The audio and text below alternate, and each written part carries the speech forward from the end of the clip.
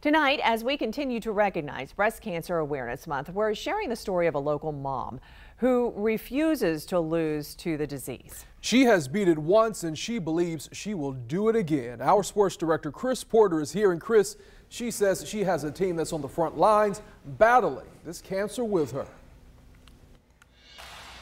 Yeah, Anthony, 39-year-old Monique Ellis is a fierce fighter already, but think about how much stronger her defense against breast cancer is with the support of her three children. One of them is a star football player over on the west side of Jacksonville. Tonight, I'm taking you to the heart of the story to show you how her only begotten son is leading the charge. Every day is, is hard. Um, and it's a blessing to still be here. Monique Ellis, mother of three, diagnosed with stage three breast cancer in 2017. She went into remission in 2018, only to have breast cancer come back in 2020. Her doctor's telling her this time it's stage four. This is my new normal. This is how I have to live the rest of my life. I just enjoy every moment I can watch my kids um, because I know that with my health, anything can happen at any given time. Do you think about death? I do. Um, now more than ever, a lot of my family and close friends, they don't like to hear me talk about it. I even the other day just wrote my living will and my mom's like, why, why are we doing this? But it's the reality of my condition. It's the reality of what I have going on. Monique took her children to the park to share her diagnosis. Her two daughters, Audrey and Kennedy, took it hard. Her eldest and only son, Christian, did not show any emotion. Are there ever moments when you ask God, why my mom? Oh, every day. Like, just why? Christian is a standout football player for the Ed White Commanders. Just plant, praying every night, just asking God just to help me, and just knowing when that I gotta help out, I gotta be a man helper with my sisters and just everything around the house, cause she's battling, fighting for us. Christian transferred from Trinity Christian to Ed White. He says he did it for his mom, who was a track star for the Commanders in the late 90s. Uh, battling cancer and just seeing that, I just want to, I want to do something special with her, for her.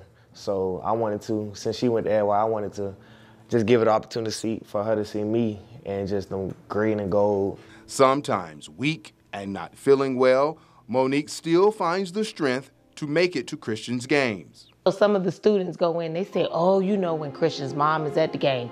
She got these big heads, she running, she screaming, jumping. Christian literally has a whole fan club in the stands. and you're the loudest? Uh, yeah. yes. Just see her in the stands all happy, yelling and loud. It's just been something just great to see. And I just like I want to continue to just bless him. Are you afraid when you look at how successful he is and you understand that this is just the tip of the iceberg? Are you afraid you're going to miss something? Mm-hmm. How are you able to be so positive?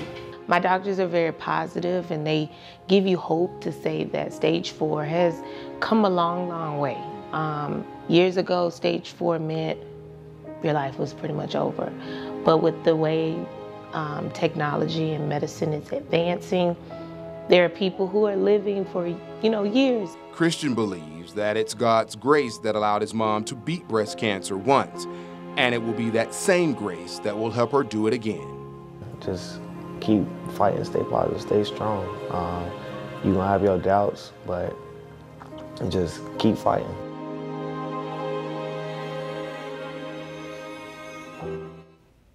Keep fighting, stay strong.